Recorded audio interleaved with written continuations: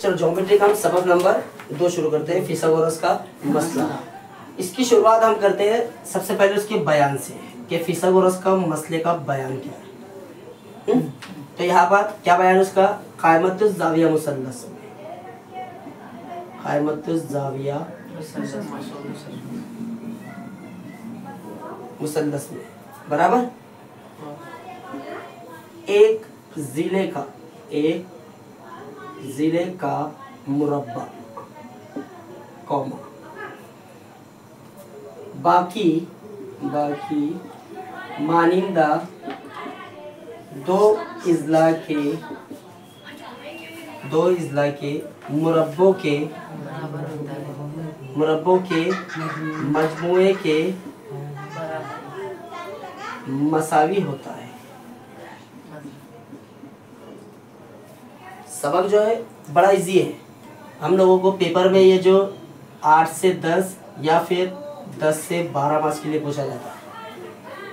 और पहला वाला जो पॉइंट है, इसको समझना ज़रूरी है हमको कि बयान में क्या दिया हुआ है, फिजागोरस का मसला असला में क्या है कि कायमत ज़ाया मुसलस में एक ज़िले का मुरब्बा उसके बाकी मानिंदा दो इजला के मुरबों के मजमू के मसावी होता है। तो यहाँ पर फॉर एग्जांपल जैसे हम लोग एक शक्ल बनाते हैं यह है हमारा कायमत जाविया मुसलस या हम नाम देते हैं ए बी सी है ना? जिसमें कायमा जाविया बनाने वाला जो है हमारा बी है।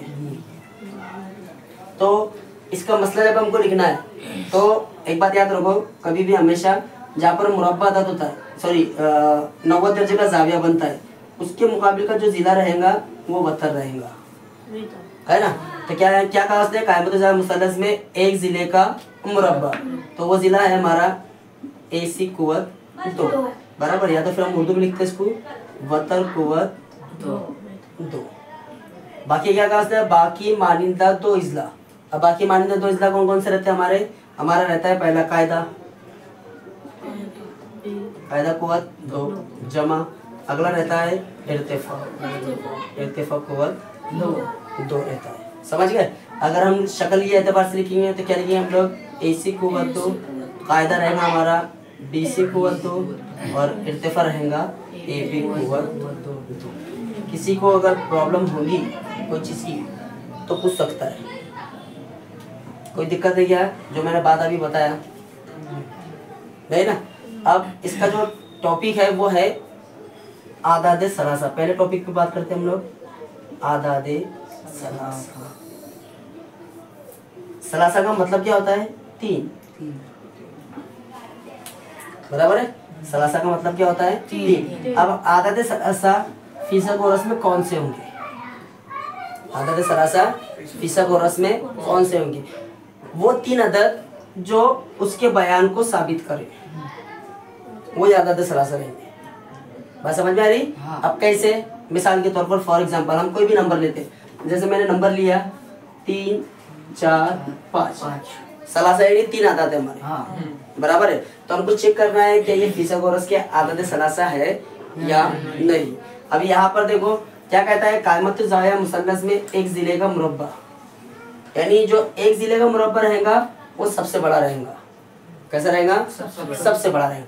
और बाकी दो इजला के मुरब्बों के मजमुए के मसावी होता है। तो इसको कैसे सोल्व करना है हम लोगों को? अब यहाँ पर देखो तीनों में सबसे बड़ा जिला कौन सा है? पाँच। तो हम यहाँ पर लेंगे पाँच का मुरब्बा। पाँच का मुरब्बा कितना?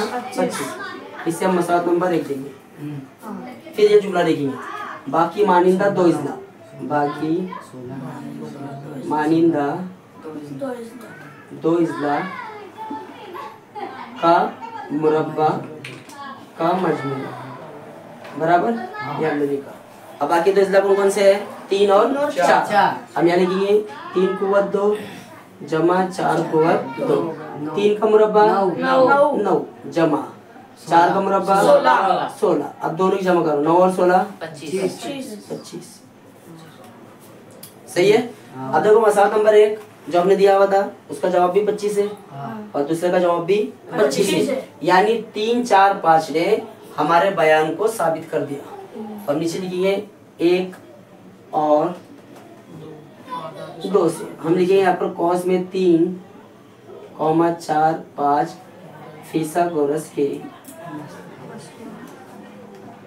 क्या है? सलासा और ऐसा सवाल तुम लोगों को एक मास के लिए वो पेपर में पूछता है। एक मास के लिए कहा कहा पूछेगा तुम लोगों को? ऑब्जेक्टिव में। पहला तो। ऑब्जेक्टिव में तुमको कंपलसरी सवाल रहता है इसका। समझ में आ रही बात? हाँ। लेकिन सवाल पहले क्या कहेगा? मेन है बयान। हम्म? तो जितना भी हमने देखा इसको फिर उसके बाद हम इसका और आदत सलासा कैसे रहते हैं कौन कौन से होते हैं वो सारे लिखिए इसमें हम्म? लिखो इसको इसमें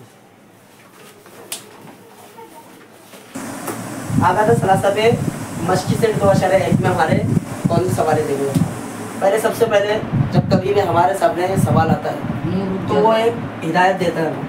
तो हिदायत क्या कहती है पहले उसे पढ़ो। हिदायत में क्या कहा उसने? कि तजिल आदाद सलासा में से फीसा गोरस के आदाद सलासा मालूम कीजिए। और आगे कहा उसने वजह बताइए। ऐसा सवाल हमको पेपर में एक या फिर दो मार्क्स के लिए वो पूछता है। हम्म, तो कैसा सॉल्व करना है? अभी यहाँ पर देखो ये वाली मिसाल देखते हैं हम लोग। इसमें सबसे बड़ा नंबर कौन सा है? बारह। हम लिखेंगे यहाँ पर बारह। ओवर दो।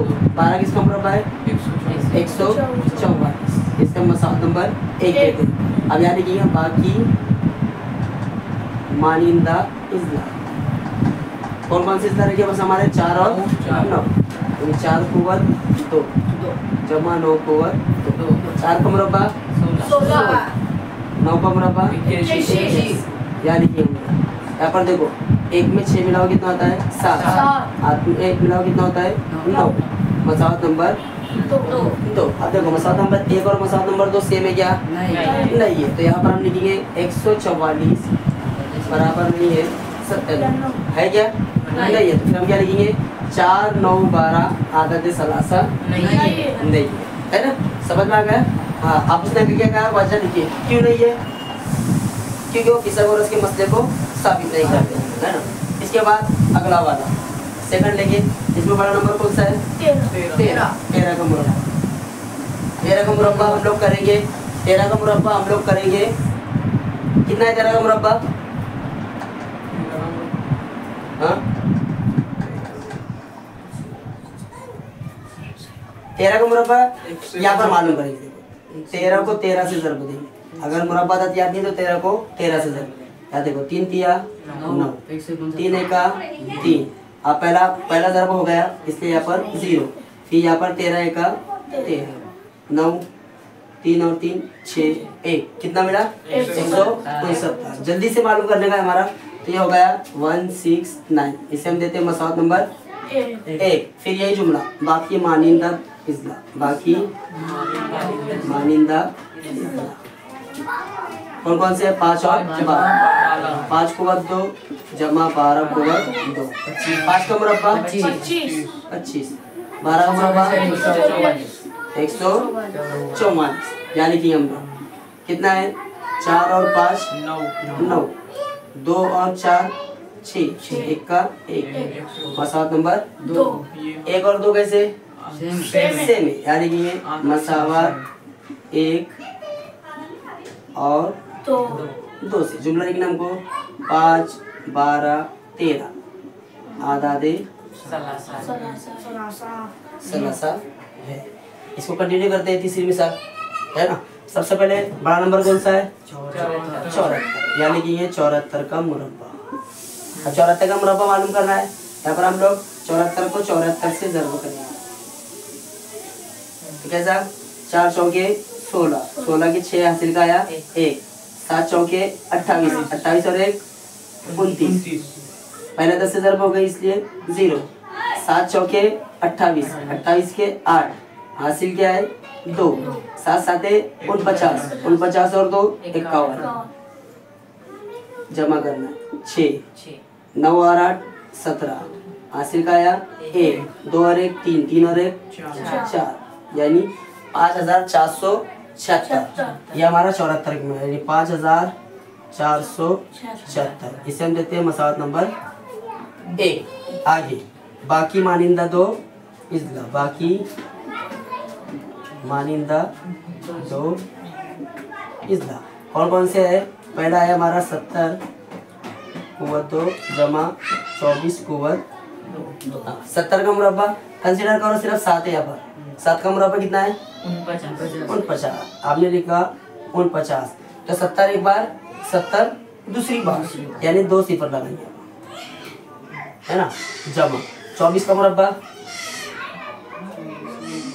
हाँ? पच्चीस का मुरब्बा होता है छह सौ पच्चीस।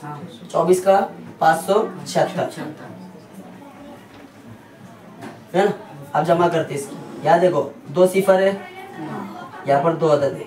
ये लिख दिया हमने छिहत्तर अब नौ में पाँच मिला। कितना है? चौदह। हासिल का आया एक। चार और एक। पाँच। मसाला नंबर एक और दो देखो। सेम है। क्या है? एक और दो। दो से। क्या लिखना है नौ को?